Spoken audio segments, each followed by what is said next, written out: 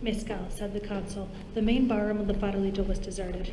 From a mirror behind the bar that also reflected the door open to the square, his face silently glared at him with stern, familiar foreboding. Yet the place was not silent. It was filled by that ticking, the ticking of his watch, his heart, his conscience, a clock somewhere. There was a remote sound, too, from far below, of rushing water, subterranean collapse, and moreover he could still hear them, the bitter, wounding accusations that he had flung at his own misery, the voices as an argument, his own louder than the rest, mingling now with those other voices that seemed to be waiting from a distance distressfully. Borracho, borracho, borracho. But of these voices, one of these voices was like Yvonne's, pleading. He still felt their look, their look in the Salón Ofélia behind him. Deliberately he shut out all thoughts of Yvonne. He drank two swift mezcals. The voice ceased. Sucking a lemon, he took stock of his surroundings. The mezcal, while it assuaged, slowed his mind. Each object demanded some moments to impede upon him. In one corner of the room sat a white rabbit eating an ear of Indian corn. It nibbled at the purple and black stops with an air of detachment, as though playing a musical instrument. Behind the bar hung by clamped swivel a beautiful Oaxacan gourd of mezcla de olla, from which he drank, his drink had been measured. Ranged on either side stood bottles of Denipana, Berreteaga, Tequila Anejo, Anis Doble de Mejilocra, a violet decanter of Henry Mallet's Deliciosa Licor, a flask of peppermint cordial, a tall vol voluted bottle of Anis del Mono, on the label of which a devilish a devil brandished a pitchfork. On the wide counter before him were saucers of toothpicks, chiles, lemons, a tumbler of straws, crossed long spoons in a glass tankard. At one end, large bulbous jars of many-colored aguardiente.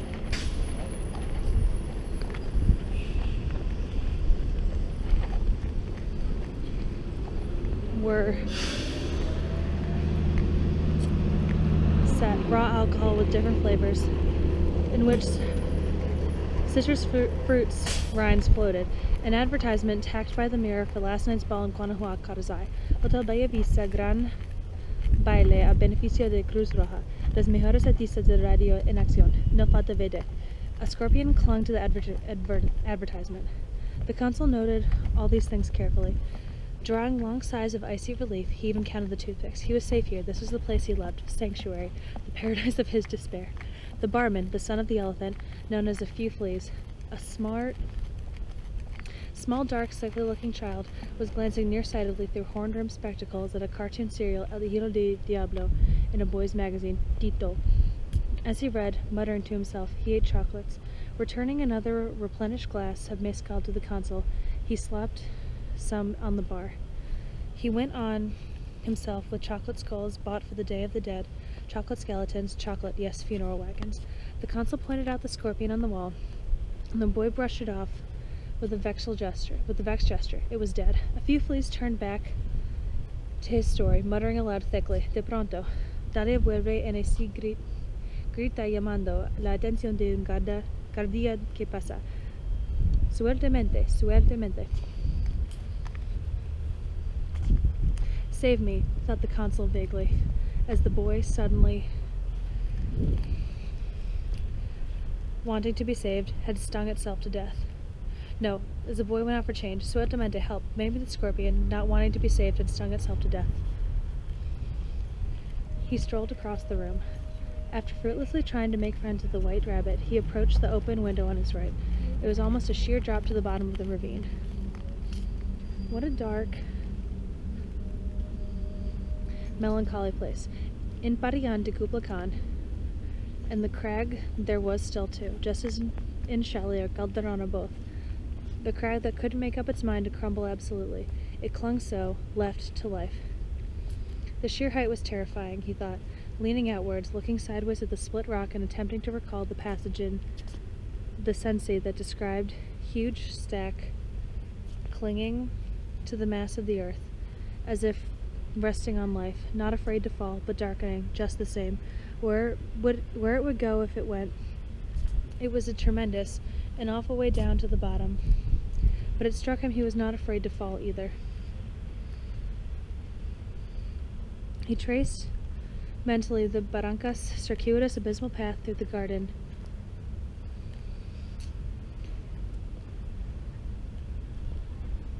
Through the country, through shattered minds, to his own garden, then saw himself standing again this morning with Yvonne outside the printer shop, gazing at the picture of that other rock, La Despedida, the, great, the glacial rock clumbing crumbling among wedding invitations in the shop window, the spinning flywheel behind.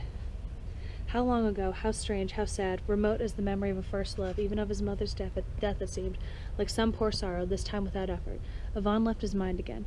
Popo towered through the window, its immense flanks partly hidden by the rolling thunderclouds, its peak blocking the sky. It almost it appeared almost right overhead, the barranca, the farolito directly beneath it. Under the volcano. It was not for nothing the ancients had placed Tartarus under Mount Etna, nor within it. The monstrous the monster Typhoeus, with its hundred heads and relatively fearful eyes and voices. Turning, the consul turned his took his drink to the open door, a mercure Cro-Magnon down the west. He stared out at the Parian. There, beyond a grass plot, was the inevitable square with its little public garden. To the left, at the edge of the barranca, a soldier slept under a tree. Half facing him to the right, on the incline, stood what at first seemed to be a ruined monastery or waterworks. This was the grey turreted barracks of the military police he had mentioned to Hugh as the reputed Union Militar headquarters. The building, which also included the prison, glowered at him with one eye, over an archway set in the forehead of its low facade, a clock pointing to six. On either side of the archway, the barred windows in the Comisario de Policía and the Policía de Seguridad looked down at a group of soldiers talking, their bugles slung over their shoulders with bright green lariats. Other soldiers, puttees flapping, stumbling at sentry duty. Under the archway, in the entrance to the courtyard, a corporal was a corporal was working at a table on which stood an unlighted oil lamp. He was inscribing something in the copperplate handwriting. The consul knew, for his rather unsteady course hither, not so unsteady, however, as in the square at Quauhnahuac earlier, but still disgraceful, had brought him almost on top of him. Though the through the archway, grouped round the courtyard below, courtyard and beyond, the consul could make out the dungeons with wooden bars like pig pens. In one of them, a man was gesticulating. Elsewhere to the left were scattered huts of dark thatch, merging into the jungle which on all sides surrounded the town, glowing now in the unnatural livid light of an approaching storm. A few fleas having returned, the consul went to the bar for his change. The boy, not hearing apparently, sloped, slopped some mescal into his glass from the beautiful gourd. Handing it back, he upset the toothpicks. The consul said nothing further about the change for the moment. However, he made a mental note to order for his next drink something costing more than the fifty centavos he had already laid down. In this way he saw himself gradually, gradually recovering his money. He argued absurdly with himself that it was necessary to remain for this alone. He knew there was another reason yet he couldn't place his finger on it. Every time the thought of Yvonne occurred to him, he was aware of this. He seemed indeed then as though he must stay for her sake, not because she would follow him here. No, she had gone. He'd let her go, finally. Hugh might come, though never she, not this time. Obviously she would return home and his mind could not travel beyond that point. But for something else now. He saw his change lying on the counter, the price of the mescal not deducted from it. He pocketed it all and came to the door again. Now the situation was reversed. The boy would have to keep an eye on him. It lugubriously diverted him to imagine, for a few fleas' benefit, though, half aware The preoccupied boy was not watching him at all.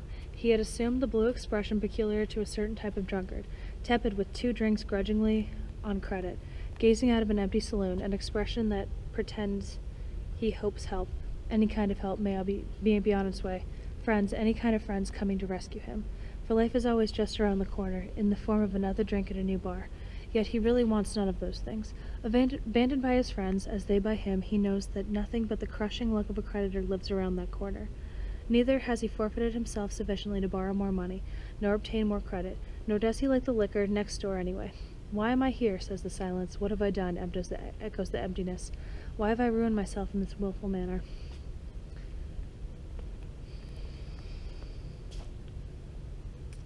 Chuckles the money in the till. Why have I been brought so low? Wheels, wheedles the thoroughfare. To which the only answer is, the square gave him no answer. The little town that had seemed empty was filling up as evening wore on. Occasionally a mustachioed officer swaggered past with a heavy gait, slapping his swagger stick on his leggings. People were returning from the cemeteries, though. Perhaps the procession would not pass for some time. A ragged platoon of soldiers were marching across the square. Bugles blared. The police, too, those who were not on strike, or had been pretending to be on duty at the graves, or the deputies, it was not easy to get the distinction between the police and the military clear in one's mind either, had arrived in force. Con German friends, doubtless. The cor- corporal was still writing at his table. It oddly reassured him. Two or three drinkers pushed their way past him into the farolito, tasseled sombreros on their backs on the backs of their heads, holsters slapped to their thighs. Two beggars had arrived and were taking up post outside the door, under the tempestuous sky. One, legless, was dragging himself through the dust like a poor seal, but the other beggar, who boasted one leg, stood up stiffly, proudly, against the cantina wall as if waiting to be shot. Then this beggar with one leg leaned forward. He dropped a coin into the legless man's outstretched hand. There were tears in the first beggar's eyes. The consul now observed that on his extreme right some unusual animals resembling geese, but large as camels, and skinless men, without heads, upon stilts, whose animal, animated entrails jerked along the ground, were issuing out of the forest path the way he had come. He shut his eyes from this, and when he opened them, someone who looked a policeman was leading a horse up the path. That was all. He laughed, despite the policeman, then stopped, for he saw that the face of the reclining beggar was slowly changing to Senora Gregorio's, and now in turn to his mother's face, upon which appeared an expression of infinite pity and supplication. Closing his eyes again, standing there, glass in hand, he th- thought for a minute with freezing, detached, almost amused calm of the dreadful night, inevitably awaiting him, whether he drank much more or not, his room shaking with demonic or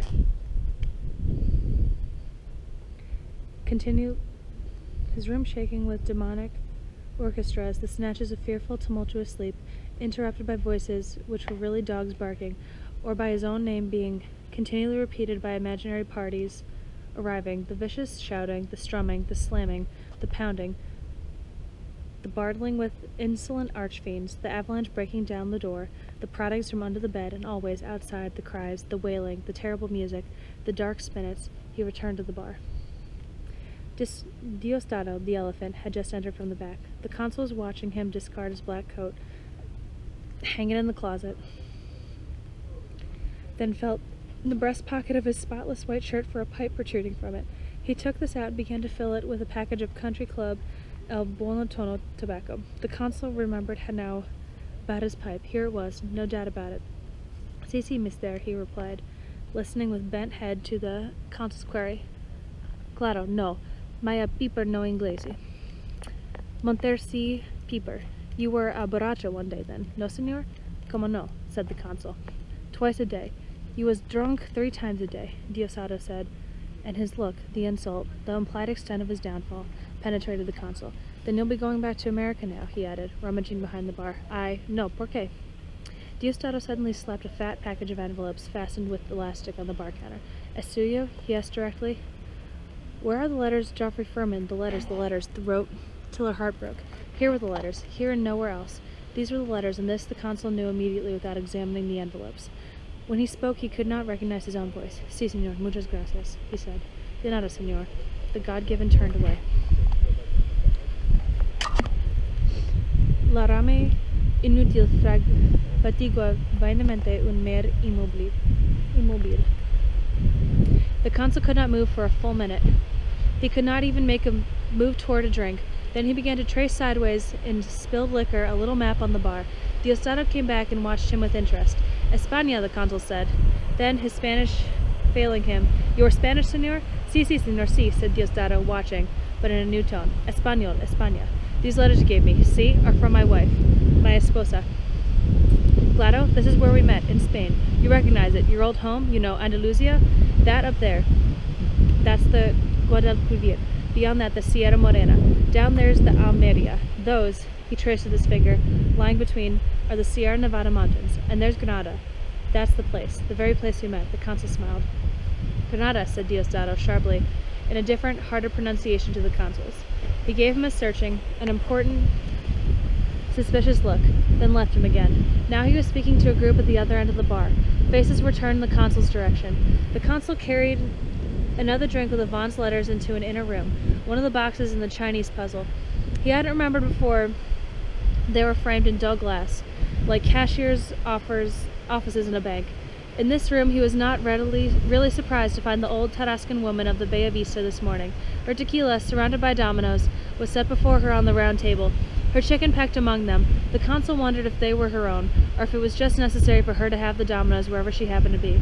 Her stick with the claw handle hung, as though alive, on the edge of the table. The consul moved toward her, drank half his mescal, took off his glasses, then slipped the elastic from the package. Do you remember tomorrow? he read. No, he thought. The words sank like stones in his mind. It was a fact he was losing touch with his situation. He was dissociated from himself, and at the same time he saw this plainly. The shock of receiving the letters having, in a sense, waked him, if only so to say, from one somnambulism into another. He was drunk, he was sober, he had a hangover all at once. It was after six in the evening, yet whether it was being in the Farolito or the presence of an old woman in this glass-framed room with where an electric light was burning, he seemed back in the early morning again.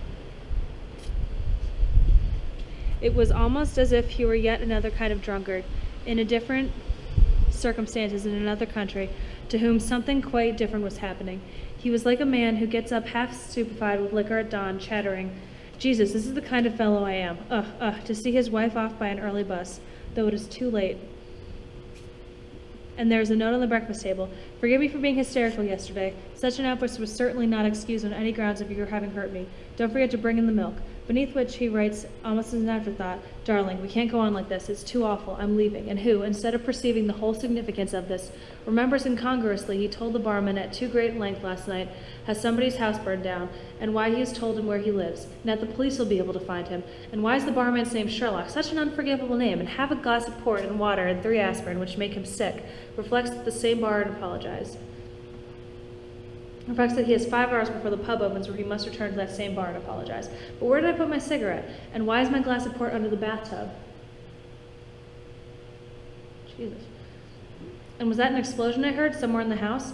And, and, encountering his accusing eyes in another mirror within the little room, the consul had the queer passing feeling he'd risen in bed to do this, that he'd sprung up and must give her Coriolanus is dead, or muddle, muddle, muddle, or I think it was oh, oh, or something really senseless like buckets, buckets, millions of buckets in the soup and that he would now, though he was sitting quite calmly in the farolito, relapse once more upon the pillows to watch, shaking in impotent terror at himself, the beards and eyes form, foam, form in the curtains, or fill the space between wardrobe and ceiling, and hear, from the street, the soft padding of eternal ghostly policemen outside.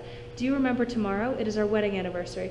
I have not had one word from you since I left. God, it is the silence that frightens me. The consul drank some more mescal. It is the silence that frightens me, this silence. The consul read the sentence over and over again the same sentence, the same letter, all the letters in vain, as those arriving on shipboard in port for one lost at sea, because he found some difficulty in focusing. The words kept blurring and disassembling, his own name starting out at him.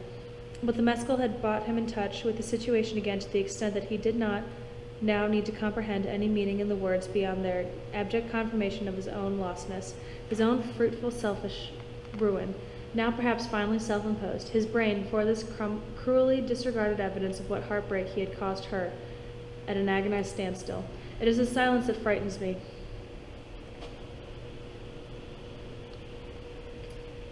I had pictured all sorts of tragic things befalling you. It is as though you were away at war and I were waiting, waiting for news of you, for the letter, for the telegram. But no war could have this power to so chill and terrify my heart. I send you all my love and my whole heart and my thoughts and prayers. The consul was aware, drinking, that the woman with the dominoes was trying to attract his attention, opening her mouth and pointing to it. Now she was subtly moving around the table near him. Surely it must have a thought great, a great deal of us, what we built together, of how mindlessly we destroyed the structure and the beauty, but yet could not destroy the memory of that beauty. It has been this which has haunted me day and night. Turning, I see us in a hundred places with a hundred smiles. I come into a street and you are there. I creep at night to bed and you are waiting for me. What is this life what is there in life besides the person whom one adores and the life one can build with that person?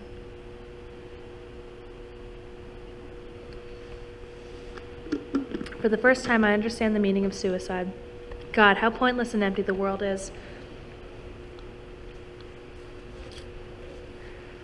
Days filled with cheap and tarnished moments succeed each other. Restless and haunted nights follow in bitter routine. The sun shines without brightness, and the moon rises without light. My heart has the taste of ashes, and my throat is tight and weary with weeping. What is a lost soul? It is one that has turned from the, its true path and is groping in the darkness of remembered ways. The old woman was plucking at his sleeve in the console. Had Yvonne been reading the letters of Eloise and Abelard? Reached out to press an electric bell, the urbane yet violent presence of which in these odd little niches never failed to give him a shock. A moment later, a few fleas entered with a bottle of tequila in one hand and a mezcal cantal in the other, but he took the bottles away after pouring their drinks. The consul nodded to the old woman, motioned to her tequila, drank most of his mezcal, and resumed reading. He could not remember whether he had paid or not. Oh, Geoffrey, how bitterly I regret it now. Why did we postpone? Is it too late? I want your children soon, at once. I want them. I want your life filling and stirring me. I want your happiness beneath my heart, and your sorrows in my eyes, and your peace in the fingers of my hand.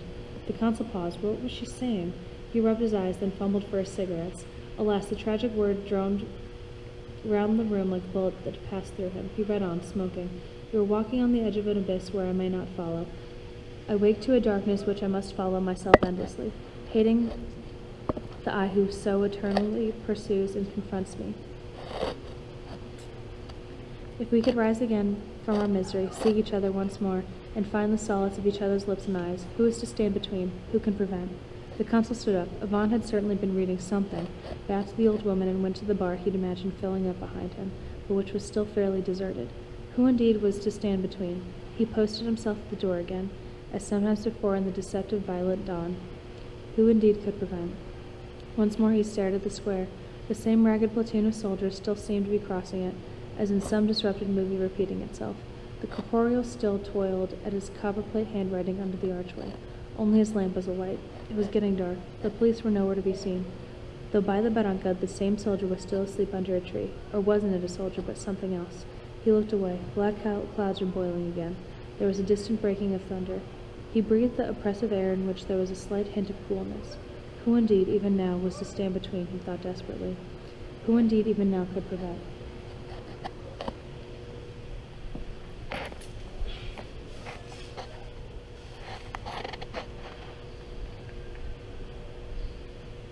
He wanted Yvonne at this moment to take her in his arms, wanted more than ever to be forgiven and to forgive. But where should he go? Where would he find her now? A whole unlikely family of indeterminate class were strolling past the door, the grandfather in front, coercing, correcting his watch, peering at the dim barracks clock that still said six, the mother laughing and drawing her bozo over her head, mocking the probable storm. Up in the mountains, two drunken gods standing far apart were still engaged in an endlessly decisive, indecisive and wildly swinging game of bumble puppy with a Burmese gong. The father, by himself, smelling proudly, contem- contemplatively, clicking his fingers, flicking a speck of dust now from his fine, brown, shiny boots. Two pretty children with limpid black eyes were walking between them hand in hand. Suddenly, the elder child freed her sister's hand and turned a succession of cartwheels in the lush grass plot. All of them were laughing. The consul hated to look at them. They'd gone away, thank God. Miser- miserably, he wanted Yvonne and did not want her. Quiere Maria? A voice spoke softly behind him. At first, he saw only the shapely legs of a girl who was leading him, now by the constricted power of aching flesh alone, a pathetic trembling of brutal lust, with little glass-paned rooms that grew smaller and smaller, darker and darker, until by the mingitorio, the senores, out of whose evil-smelling gloom broke a sinister chuckle, there was merely a lightless annex no lar- larger than a cupboard, in which two men whose faces he couldn't see either were sitting, drinking or plotting. Then it struck him that some reckless, murderous power was drawing him in, on, forcing him, while he yet remained passionately aware of the all too possible consequences, and somehow, as innocently unconscious, to do with, without precaution or conscience what he would never be able to undo or gainsay, leading him irresistibly out into the garden, Lightning filled at this moment. It reminded him queerly of his own house, and also of El Popo, where earlier he had thought of going, only this was grimmer, the obverse of it. Leading him through the open door to the darkened room, one of many givings on the patio. So this was it, the final stupid, unprophylactic rejection. He could prevent it even now. He would not prevent it. Yet perhaps his familiars or one of his voices might have some good advice. He looked about him, listening. Erectus horribus. No voice came. Suddenly he laughed. It had been too clever of him to trick his voices.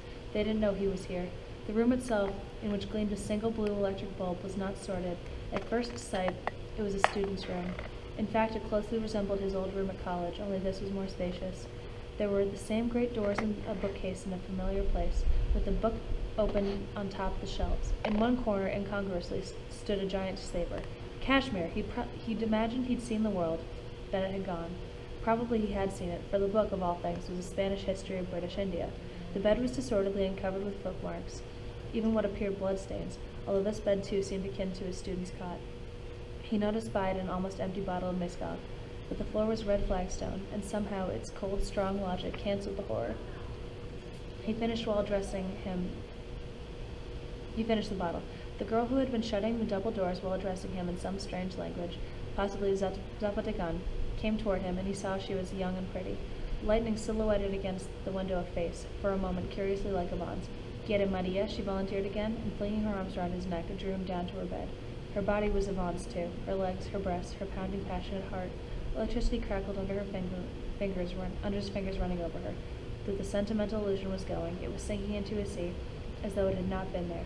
It had become the sea, a desolate horizon with one huge black sailing ship hull down, sweeping into the sunset, or her body was nothing, an abstraction merely, a calamity, a fiendish apparatus for calamitous sinking sensations. It was disaster. It was the horror of waking up in the morning in Oaxaca, his body fully clothed, at half past three every morning after Yvonne had gone. Oaxaca, and the nightly escape from the sleeping Hotel Francia, where Yvonne and he had once been happy, from the cheap room giving on the balcony high up, to the El Infierno, that other farolito, of trying to find the bottle in the dark and failing, the vulture sitting in the wash basin, his steps, noiseless, dead silence outside the hotel room, too soon for the terrible sounds of squealing and slaughter.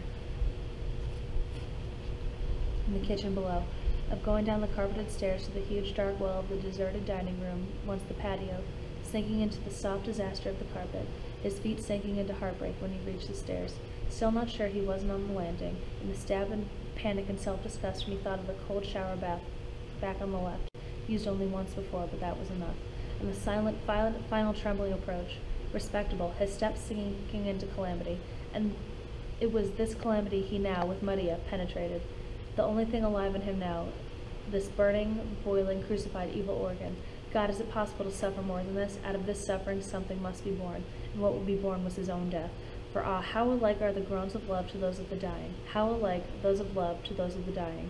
And his steps sinking into his tremor, the sickening cold tremor, and into the dark well of the dining room, with round the corner one dim light hovering above the desk, and the clock, too early, and the letters unwritten, powerless to write, and the calendar saying eternally, powerlessly, their wedding anniversary, and the manager's nephew asleep on the couch, waiting to up to meet the early train from Mexico City, the darkness that muttering was palpable, the cold aching loneliness in the high sounding dining room, stiff with the dead white gray folded napkins, the weight of suffering and conscience greater, it seemed, than borne by any man that had survived, the thirst that was not thirst but itself heartbreak, and lust was death, death, and death again, and death awaiting in the cold hotel dining room, half whispering to him, waiting, since El Infierno, that other farolito, did not open till four in the morning, and one could scarcely wait outside. And this calamity he was now penetrating. It was calamity, the calamity of his own life, the very essence of it he now penetrated, was penetrating, penetrated. Waiting for the Infierno, whose one lamp of hope would soon be glowing behind the dark open sewers, on the table in the hotel dining room, difficult to distinguish, a carafe of water, trembling, trembling, carrying the carafe to its water to his lips, but not far enough. It was too heavy, like his burden of sorrow. You could not drink of it. He could only moisten his lips, and then, must have been Jesus who sent this. It was only he who was following me after all. The bottle of French wine from Salina Cruz still standing on the table set for breakfast, marked with someone else's room number, uncorked with difficulty, and, watching to see the nephew wasn't watching, holding it with both hands and letting the blessed ichor trickle down his throat just a little, for after all one was an Englishman, and still sporting, and then subsiding on the couch too, his heart a cold ache warm to one side, into a cold shivering shell of palpitating loneliness, yet feeling the wine slightly more, as if one's chest were being filled with boiling ice now, or there was a bar of red-hot iron across one's chest, but cold in its effect, for the consciousness, conscience that rages underneath anew and is bursting one's heart burns so fiercely with the fires of a hell, a bar of red-hot irons is a mere chill to it, and the clock ticking forward, with his heart beating now like a snow-muffled drum, tickling, shaking, time shaking and tickling towards El Infierno. Then, the escape, drawing the blanket he had secretly brought down from the hotel room over his head, creeping up past the manager's nephew. The escape, past the hotel desk, not daring to look for mail. Is it the silence that frightens me?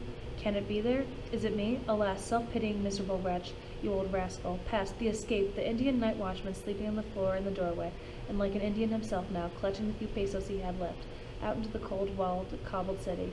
Past the escape to the secret passage, the open sewers and the mean streets, the few lone, dim street lamps, into the night, into the miracle of the coffins of the houses, the landmarks were still there.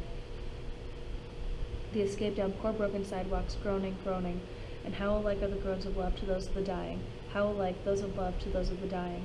And the house is so still, so cold before dawn, till he saw, round in the corner, the one lamp of El Infierno glowing, that was so like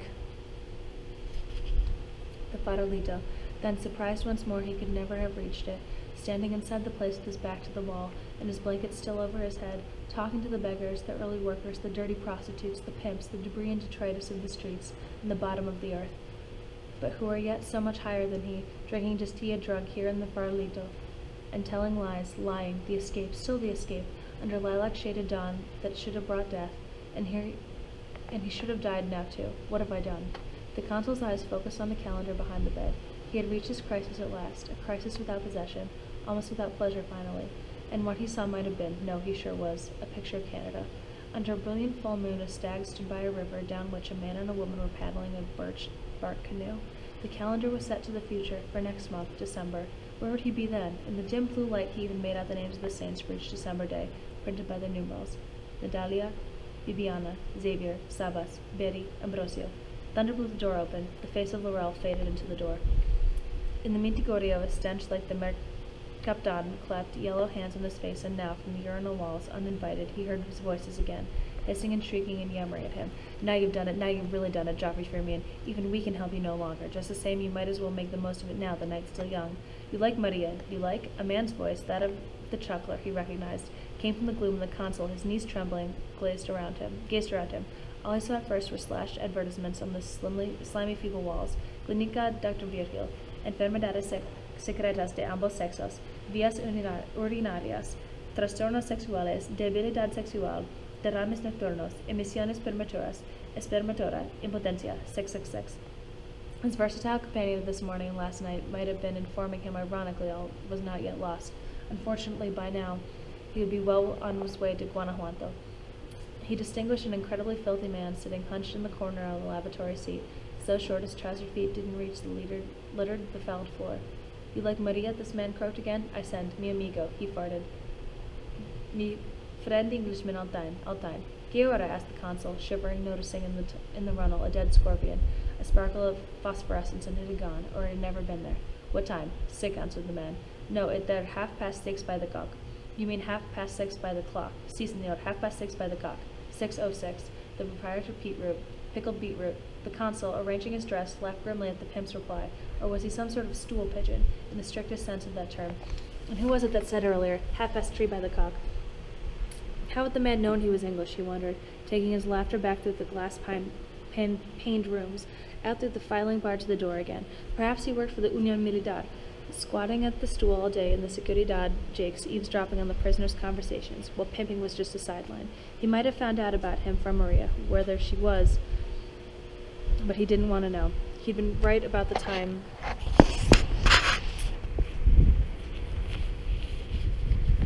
Though the clock on the Comisaria de Policia, Anulad, imperfectly luminous, said, as if it had just moved forward with a jerk, a little after six thirty, and the consul corrected his watch, which was slow.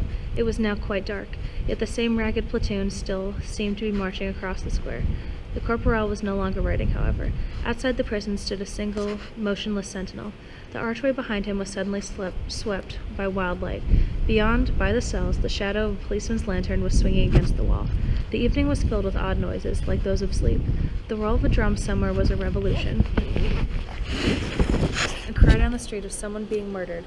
Brakes grinding far away, a soul in pain. The plucked chords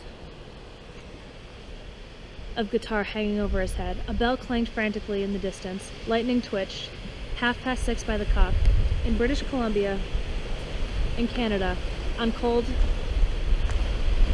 Peneus Lake, where his island had long since become a wilderness of laurel and Indian pipe, of wild strawberry and Oregon holly, he remembered the strange Indian belief prevailing that a cock would crow over a drowned body.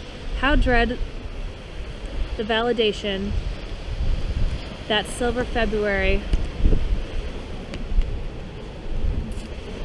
What does this say?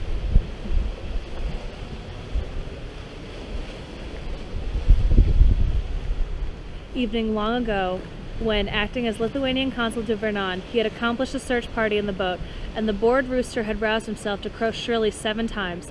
The dynamite charges had apparently disturbed nothing. They were somber somberly rowing for the shore through the cloudy twilight, when suddenly, protruding from the water, they had seen what looked at first like a glove, the hand of a drowned Lithuanian. British Columbia, the genteel Siberia that was neither genteel nor Siberia, but an undiscovered, perhaps undiscoverable paradise that might have been a solution to return there to build, if not on the island, somewhere there, a new life with Yvonne. Why hadn't he thought of it before, or why hadn't she? Or that had that been where she was getting at this afternoon, and which had half communicated itself to his mind? My little gray home in the west. Now it seemed to him he had often thought of it before, in this precise spot where he was standing. But now, too, at least this much was clear. He couldn't go back to Yvonne if he wanted to.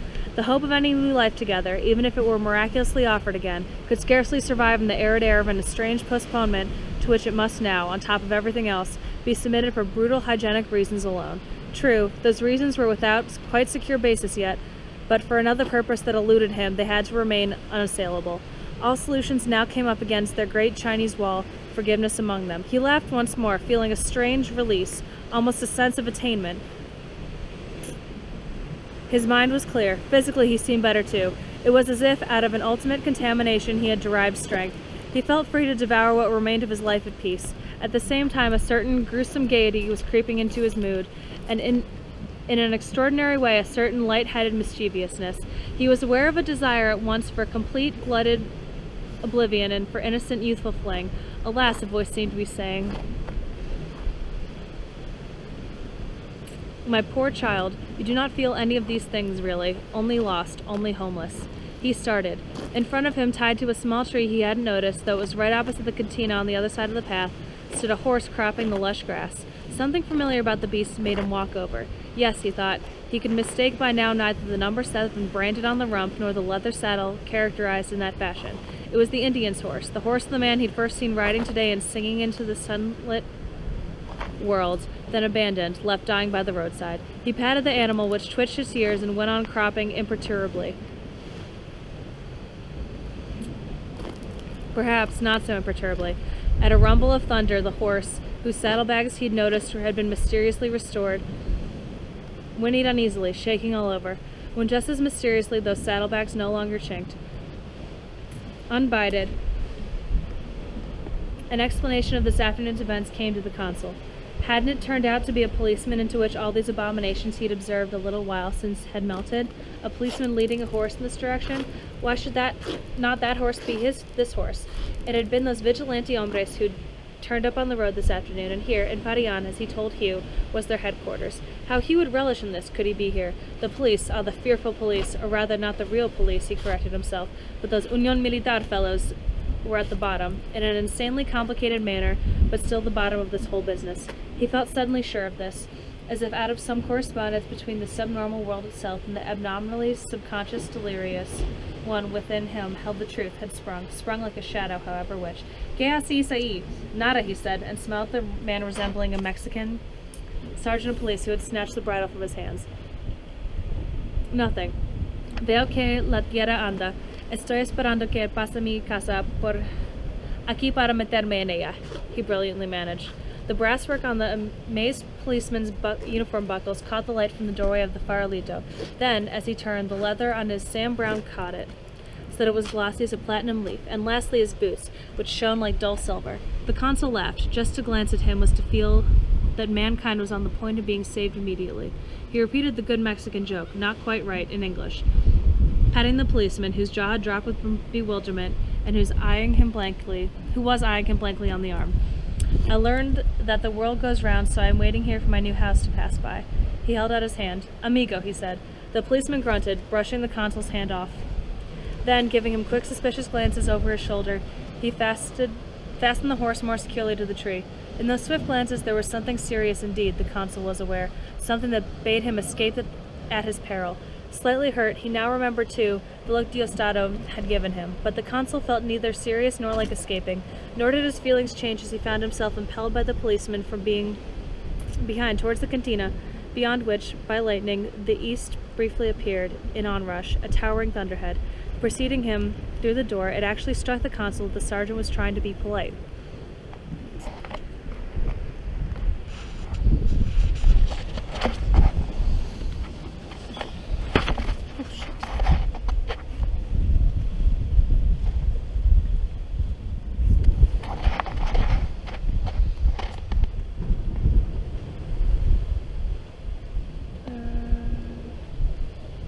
He stood aside quite nimbly, bidding with a gesture the other go first. Mi amigo, he repeated.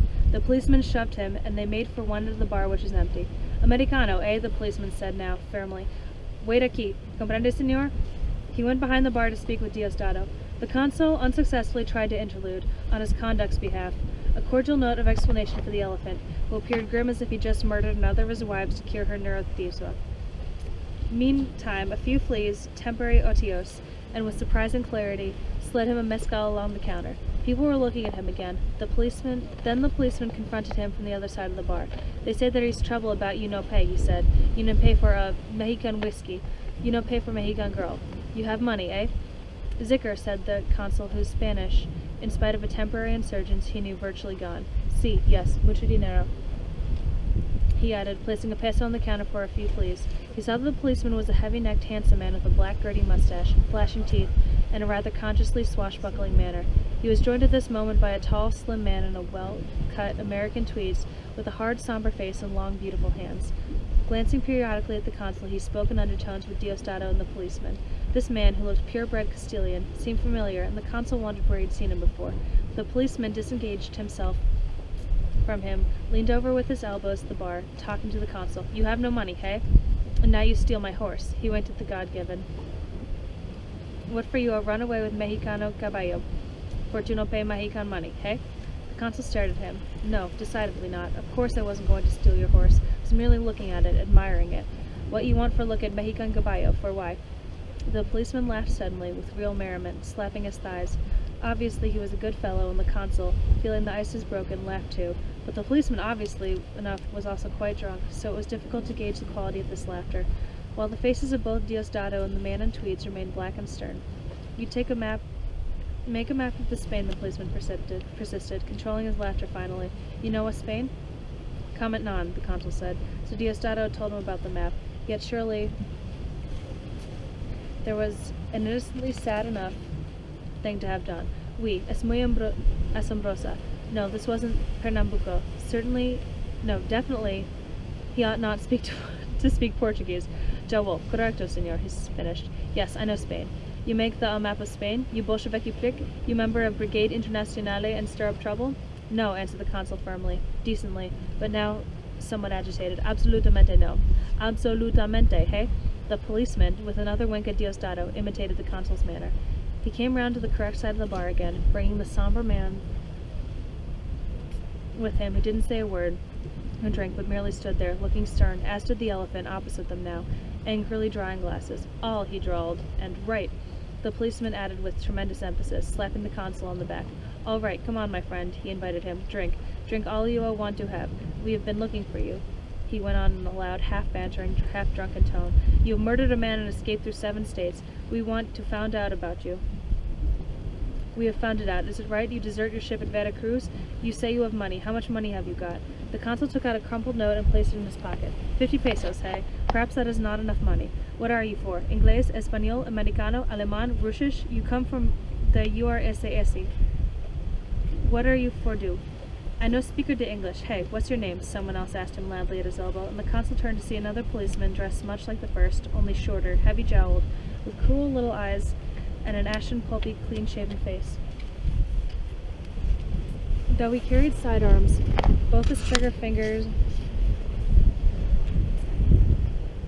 Though he carried sidearms, both his trigger finger and his right thumb were missing. As he spoke, he made an obscene rolling movement of his hips and winked at the first policeman, and at Diosdado, avoiding, though avoiding the eyes of the man in tweeds. Procasión al culo, he added, for no reason the consul knew of, still rolling his hips. He is the chief of municipality, the first policeman explained heartily to the consul. This men want to know your name. ¿Cómo se llama?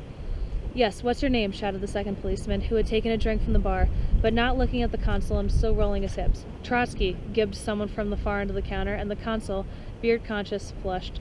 Blackstone, he answered gravely, and indeed, he asked himself, accepting another mescal, had he not and with a vengeance come to live among the Indians? The only trouble was one was very much afraid these particular Indians might turn out to be people with ideas too. William Blackstone. Why are you? shouted the fat policeman, whose own name was something like Zuzugoitea. What are you for? And he repeated the catechism of the first policeman, who seemed to imitate in everything. Inglés, Alemán? The consul shook his head. No, just William Blackstone. You are Juden? The policeman demanded. No, just Blackstone, the consul repeated, shaking his head. William Blackstone. Jews are seldom very borracho. You are a uh, borracho, hey? The first policeman said, and everyone laughed. Several others, his henchmen evidently, had joined them, though the consul couldn't distinguish them clearly, save the inflexible and different man in tweeds. He is the chief of gardens, the first policeman explained, continuing. This man is Jefe de Jardineros, and there was a certain awe in his tone. I am chief too. I am chief of Rostrums, he added, but almost reflectively, as if he meant I am only chief of Rostrums. And I, began the consul. Y yo, repeated the con- or am perfectamente borracho, finished the first policeman, and everyone roared again, save the jefe de jardineros. Y yo, repeated the consul, but what was he saying, and who were these people really? Chief of what Rostrums? Chief of what municipality? Above all, chief of what gardens? Surely the silent men in tweeds, sinister too, though apparently the only one unarmed in the group, wasn't responsible for all those little public gardens. Albeit the consul was prompted by a shadowy presence he already had concerning the claimants to these titular pretensions. There were also they were associated in his mind with the Inspector General of the state, and also he had told Hugh with the Union Militar. Doubtless he'd seen them here before in one of the rooms or at the bar, but certainly never at such close quarters as this. However, so many questions he was unable to answer were being showered upon him by so many different people, the significance was almost forgotten. He gathered, though, that the respected chief of gardens, to whom at this moment he sent a mute appeal for help, might be even higher than the Inspector General himself. The appeal was answered by a blacker look than ever. At the same time, the consul knew where he'd seen him before. The chief of gardens might have been the image of himself when, lean, bronzed, serious, beardless, at the crossroads of his career, he had assumed the vice consulship in Granada. Innumerable tequilas and mezcals were being brought, and the consul drank everything in sight without regard for ownership. It is not enough to say they were at El Amor de los Amores together, he heard himself repeating. It must have been in answer to some insistent demand for the story of his afternoon, though why it should be made at all he didn't know. What matters is how the thing happened.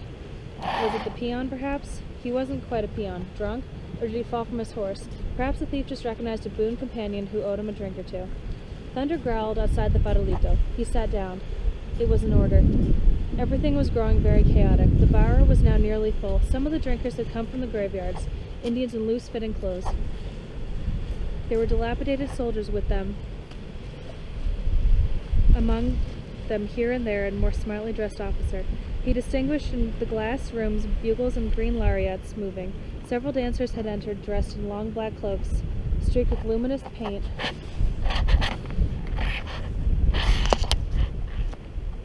To represent skeletons. The chief of municipality was standing behind him now. The chief of Rostrum was sta standing too, taking on his right with the jefe de jardineros, whose name the consul had discovered was Fructuoso Sanabria. Hello, ¿qué tal? asked the consul, Someone was sitting next to him with his back half turned who also seemed familiar. He looked like a poet, some friend of his college days. Fair hair fell over his fine forehead. The consul offered him a drink, which this young man not only refused in Spanish, but rose to refuse, making a gesture with his hand of pushing the consul away, then moving with angry, half-averted face to the far end of the bar. The consul was hurt. Again he said a mute appeal to help to the chief of gardens, he was answered by an implacable and almost final look. For the first time, the consul scented the tangibility of his danger. He knew Sanabria and the first policeman were discussing him in the utmost hostility, deciding what to do with him. Then they saw that they were trying to catch the chief of municipality's attention.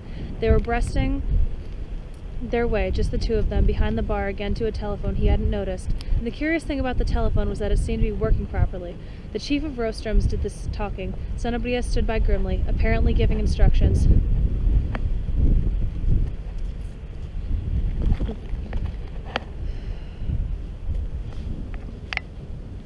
They were taking their time and realizing the call would be about him, whatever its nature, the consul, with the slow burning pain of apprehension, felt again how lonely he was, that all around him, in spite of the crowd, the uproar, slightly muted at a gesture from Sanabria, stretched to solitude like the wilderness of gray heaving Atlantic conjured to his eyes a little white, a little while since with Maria, only this time no sail was in sight. The mood of mischief, mischievousness and release had vanished completely. He knew he'd half hoped all along Yvonne would come to rescue him. Knew now it was too late that she would not come. Ah, Yvonne, if only as a daughter who would ever understand and comfort him, could only be at his side now. Even but if to lead him by the hand, drunkenly homeward through the stone fields, the forests, not interfering, of course, with his occasional pulls of the bottle, and ah, those burning draughts and loneliness, he would miss them. Were those burning draughts wherever he was going, and they were perhaps the happiest thing in his life had known. He had seen the Indian children lead their fathers.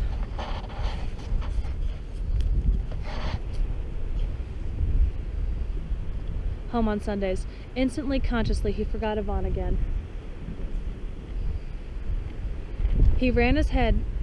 It ran on his head he could perhaps leave the Farolito at this moment by himself.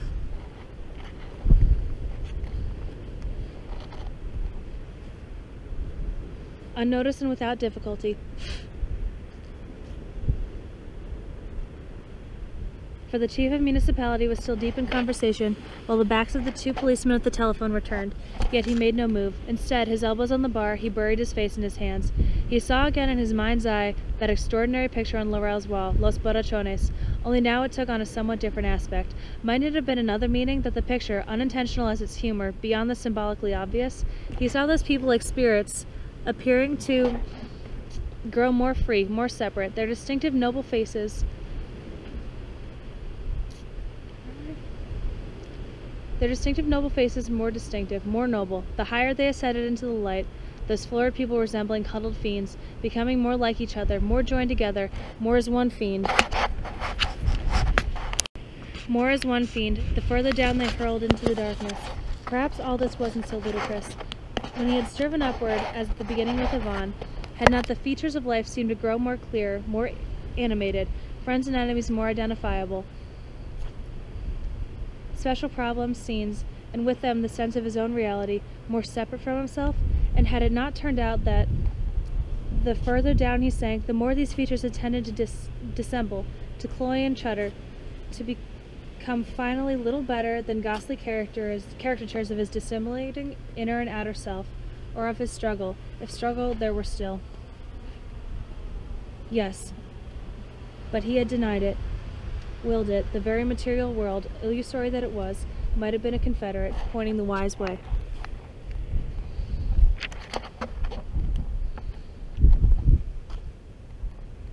Here would be no devolving through failing, unreal voices and forms of dissolution that became more and more like one voice to a death, more dead than death itself, but an infinite widening, an infinite evolving and extension of boundaries, in which the spirit was an entity, perfect and whole. Ah, who knows why man, however beset his chance by lies, has been offered love.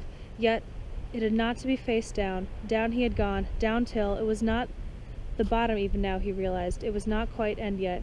It was as if his fall had been broken by a narrow ledge, a ledge from which he could neither climb up nor down, on which he lay bloody and half stunned, while far below him the abyss yawned, waiting. And it was as he lay surrounded in delirium by these phantoms of himself, the policeman, Fructuoso Sanabria, that other man who looked like a poet, the luminous skeletons, even the rabbit in the corner and the ash and the sputum on the filthy floor, did not each correspond, in a way he couldn't understand yet obscurely recognized, to some faction of his being, and he dimly saw too how Yvonne's arrival, the snake in the garden, his quarrel with Laurel, and later with Hugh and Yvonne, the infernal machine, his encounter with Senora Gregorio, the finding of the letters, and much beside, how all these events of the day indeed had been as indifferent tufts of the grass he had half-heartedly clutched at our stones loosened on his downward flight, which were still showering on him from above. The consul produced his blue package of cigarettes with wings on them. Alas, he raised his head again.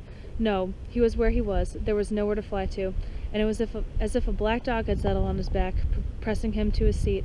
The chief of gardens and the chief of rostrums were still waiting by the telephone, perhaps for the right number. Probably they would be calling the inspector general. What if they'd forgotten him, the consul? What if they'd forgot? What if they weren't phoning about him at all? He remembered his dark glasses he had removed to read Yvonne's letters, and some fatuous notion of disguise crossing his mind put them back on. Behind him, the chief of municipality was still engrossed. Now once more he could go. With the aid of his dark glasses, what could be simpler? He could go. Only he needed another drink, one for the road. Moreover, he realized he was wedged between a solid mass of people, and that, to make matters worse, a man sitting at the bar next to him was wearing a dirty sombrero on the back of his head, and a cartridge belt hanging low to his trousers, and clutched him by the arm affectionately. It was the pimp, the stool pigeon, of the Mingitorio.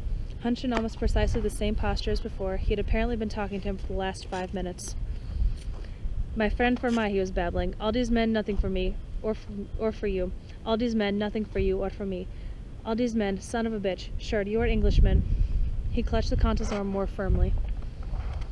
All my, Mexican men. All time next, all time Englishman, my friend, Mexican. I don't care, son of a bitch American. No good for you or for me. My Mexican all the time. All time, all time, eh?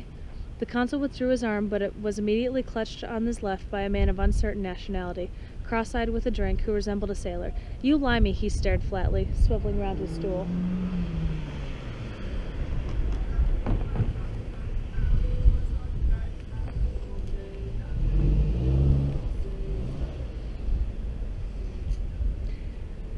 Consul freed himself. The pen clutched him again. Almost for succor, he gazed about them. The chief of municipalities was still engaged.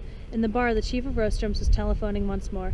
Sanabria stood at his elbow directing. Squeezed against the pimp's chair, another man the consul took for American, who was continually squinting, squinting over his shoulder as though expecting somebody, was saying to no one in especial, Winchester, hell, that's something else. Don't tell me. Righto. The Black Swan is in Winchester. They captured me on the German side of the camp and at the same time the, of the place where they captured me as a girls' school. A girl teacher. She gave it to me, and you can take it, and you can have it. Ah, said the pimp, still clutching the consul. He was speaking across him, half to the sailor. My friend, was a matter of you. Maya's looking for you all the time, my England man. All time, all time, sure, sure. The man is telling me my friend for you all time. This man very much money. This man, right or wrong, sure. American goddamn son of a bitch for you or me, or for any time. The consul was drinking with these macabre people inextricably. When he gazed round on this occasion, he met, cognizant of him, the chief of municipality's hard little cruel eyes. He gave up trying to understand what the illiterate sailor, who seemed an even obscurer fellow than the stool pigeon, was talking about. He consulted his watch, still only a quarter to seven. Time was circumfluent again, too, mescal drugged. Feeling the eyes of one Senor Zuzugoitea still boring into his neck, he produced one more, importantly defensively, Yvonne's letters. With his dark glasses on, they appeared for some reason clearer. And the off of man here, what there will be, let the Lord with us all time, bellowed the sailor. There's my religion, spoke in few words. Mozart was the man that writ the Bible. Mozart wrote the Old Testimony. Stay by that, and you'll all right. Mozart was a lawyer. Without you I am cast out, severed. I am outcast for myself, a shadow. Weber's my name. They captured me in Flanders. You would doubt me more or less, but they cap if they captured me now, we ask nobody no questions because there we don't run. Christ, if you want to get 'em, go ahead and take 'em. But if you want Alabama, that bunch, the consul looked up. The man Weber was singing. I'm just a country boy. I don't know a damn thing. He slid his reflection in the mirror. Soldat de la Legion Etranière. Then I met some of these people I must tell you about. For perhaps the thought of these people held before us like a prayer, their absolution, may strengthen us once more to nourish the flame which can never go out, but burns now so fearfully low. Yes, sir, Mozart was a lawyer, and don't dispute me no more. Here off here to the off of God, I would dispute my incomprehensible stuff. De la Legion Extraordinaire. Mar Cantabrio.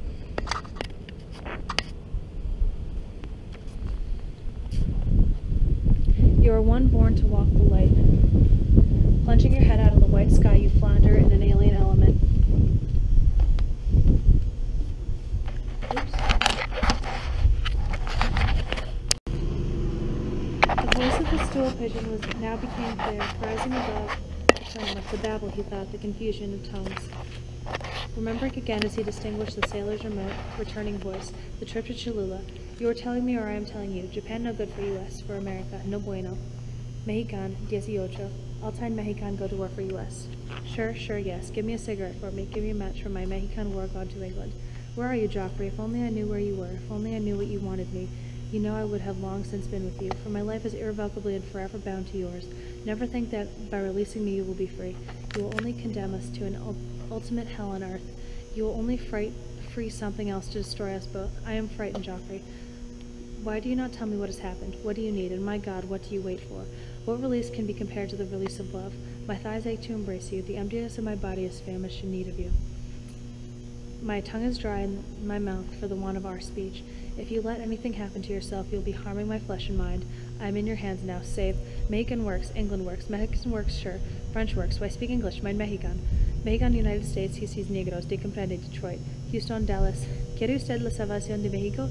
¿Quiere usted el Cristo de nuestro Rey? No. The consul looked up, pocketing his letters. Someone near him was playing a fiddle loudly.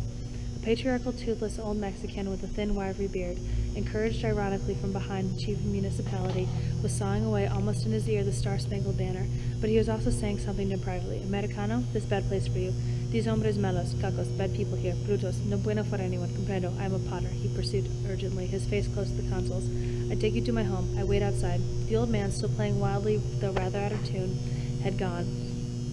Way was being made for him through the crowd, but his place, somehow between the consul and the pimp, had been taken by an old woman who, though respectably dressed with a fine rebozo thrown over her shoulders, was beha- behaving in a distressing fashion, plunging her hand restlessly into the consul's pocket, which he as restlessly removed, thinking she wanted to rob him. Then she realized. Then he realized she too wanted to help. No good for you, she whispered. Bad place, muy malo. These men no friend of Mexican people.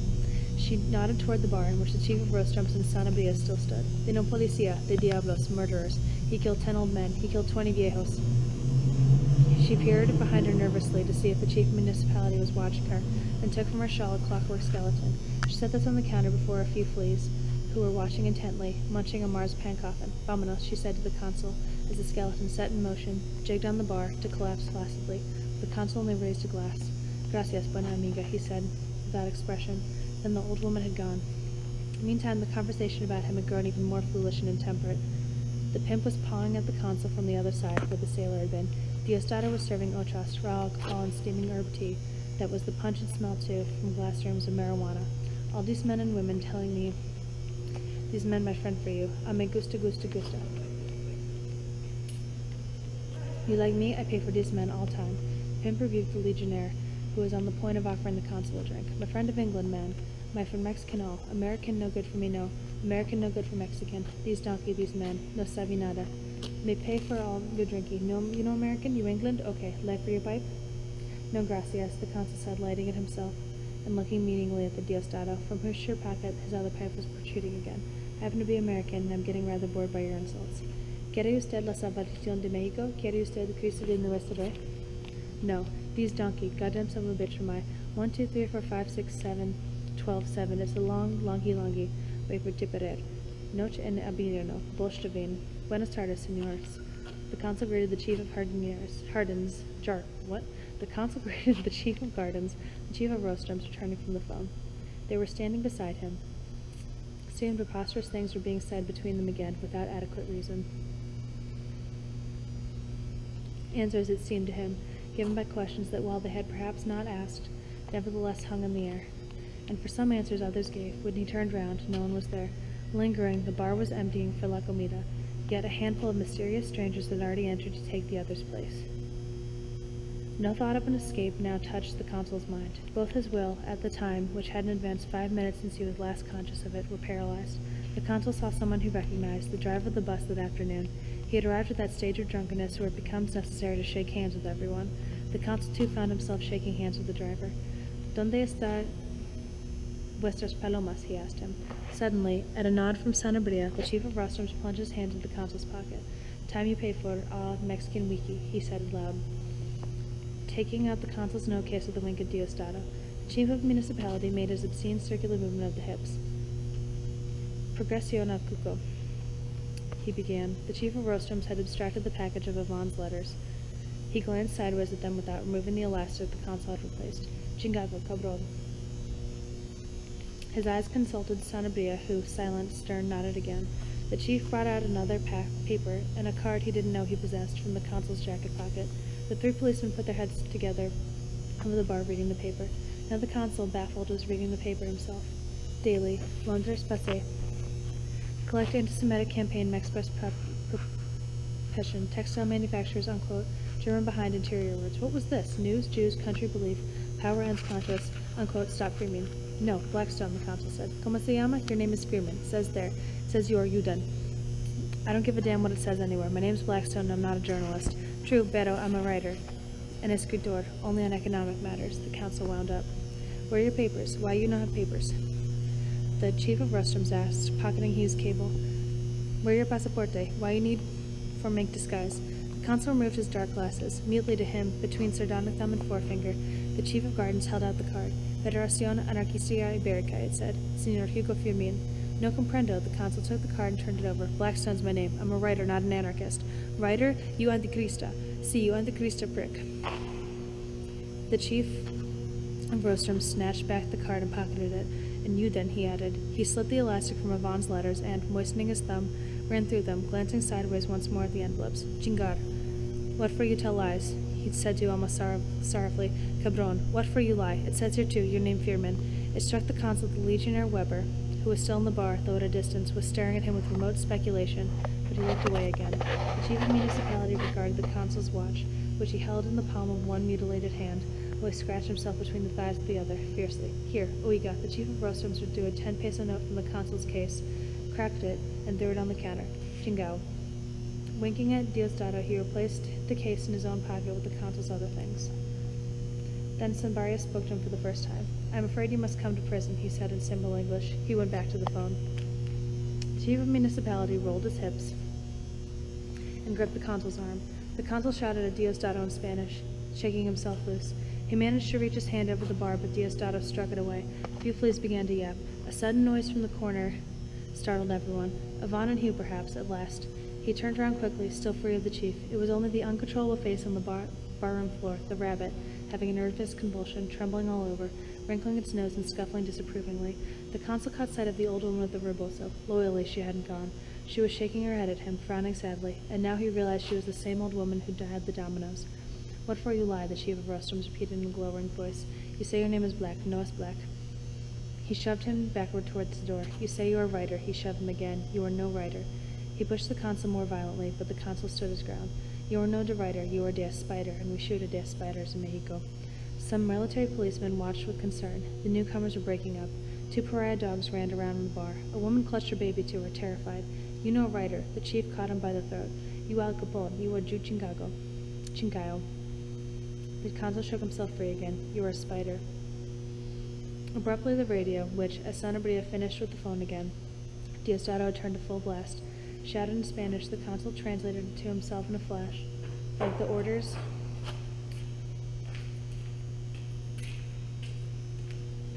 yelled in a gale of wind, the only orders that will save the ship.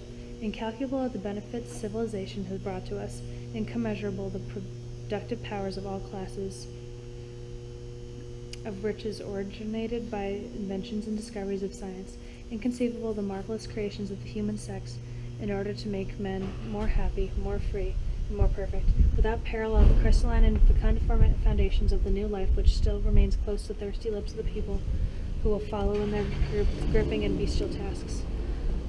Suddenly, before the consul, thought he saw an enormous rooster flapping before him, cawing, clawing, and croning. He raised his hands and murdered on his face. He struck the returning Jefe de Jardinero straight between the eyes. Give me those letters back, he heard himself shouting at the chief of Rostrums. But the Jardinero, the radio drowned his voice, and now a peal of thunder drowned the radio. You pox boxes, you cox coxes, you killed that Indian. You tried to kill him and make it look like an accident, he roared. You're all in on it. The more of you come up and took his horse. Give me my papers back. Papers, cabron. You have no papers. Straightening himself, the consul saw in the chief of Rostrum's expression a hint of Monsieur Laruelle, and he struck at it. Then he saw the chief of gardens again and struck that figure. Then the chief of municipality, the policeman Hugh had refrained from striking this afternoon, he struck that figure too. The clock outside quickly chimed seven times. The cock flapped before his eyes, blinding him. The chief of Rostrums took him by the coat. Someone else seized him from behind. In spite of his struggles, he was being dragged towards the door.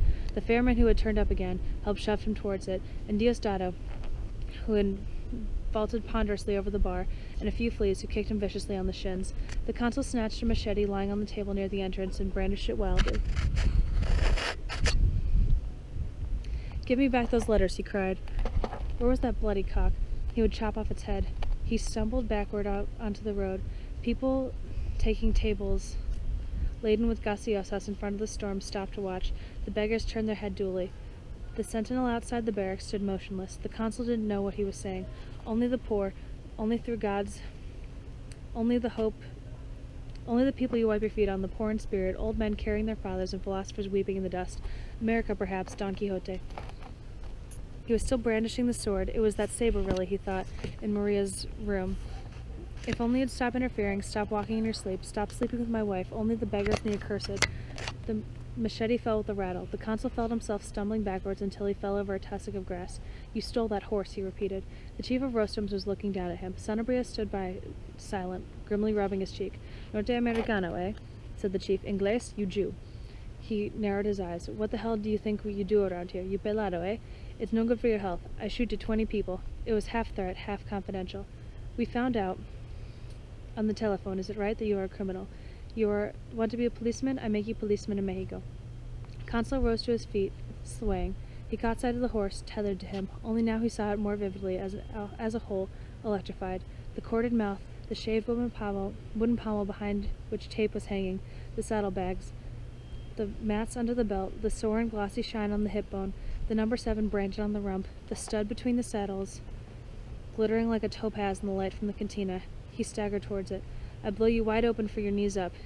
You Chingo, whispered the chief of Rostrums, grasping him by the collar, and the chief of gardens, standing by, nodding gravely. The consul, shaking himself free, tore frantically at the horse's bridle. The chief of Rostrums stepped aside, stepped aside, hand on his holster. He drew his pistol.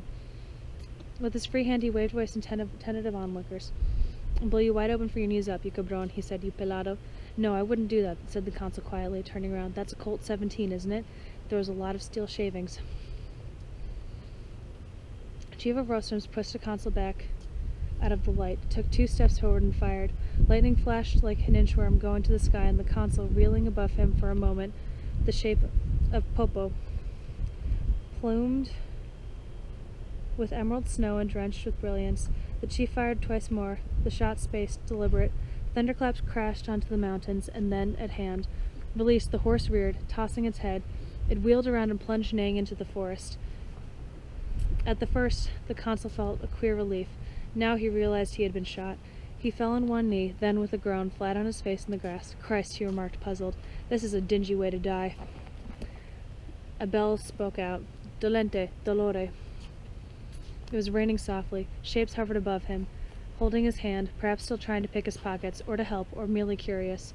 He could feel his life slivering out from him like a liver, ebbing into the tenderness of the grass. He was alone. Where was everyone? Or had there been no one?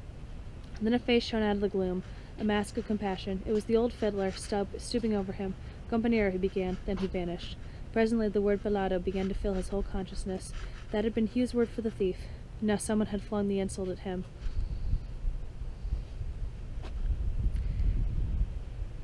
And it was as if that moment he had become the pelado, the thief, yes, the pilfer of meaningless, muddled ideas out of which his rejection of life had grown, who had won his two or three little bowler hats, his disguises over these abstractions.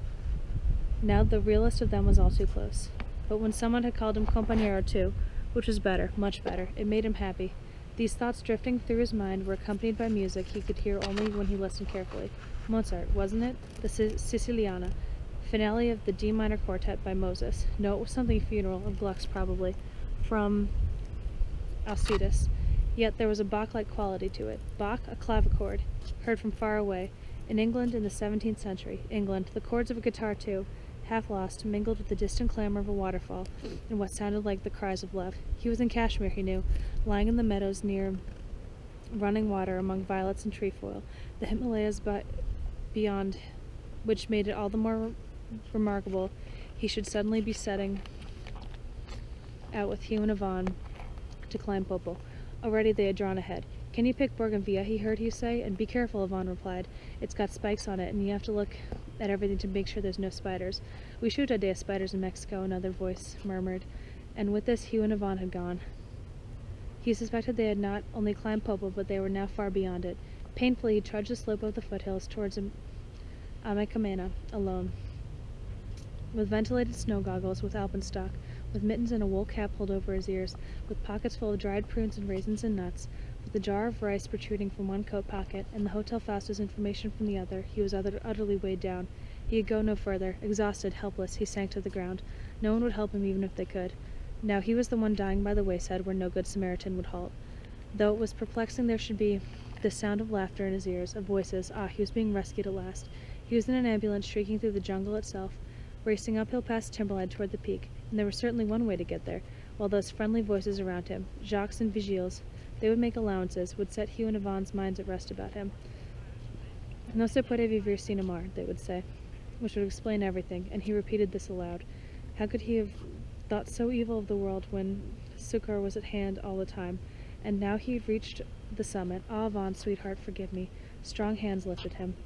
Opening his eyes, he looked down, expecting to see below him the magnificent jungle, the heights, Pico de Orizaba, Malinche, Cofre de Perote, like those peaks of his life, conquered one after another.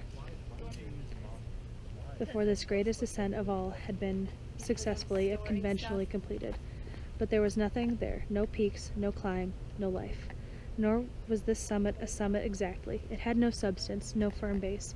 It was crumbling too, whatever it was. It was collapsing. While he was falling, falling into the volcano, he must have climbed it after all. Though now there was this noise of lava in his ears, horribly. It was an eruption, yet no, it wasn't the volcano.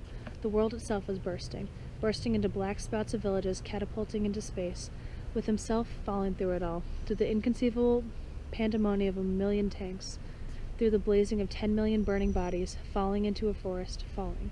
Suddenly he screamed, and it was as though this scream was being tossed from one tree to another, as its echoes returned then, as though the trees themselves were crowding nearer, huddled together, closing over him, pitying. Someone threw a dead dog after him down the ravine. The end.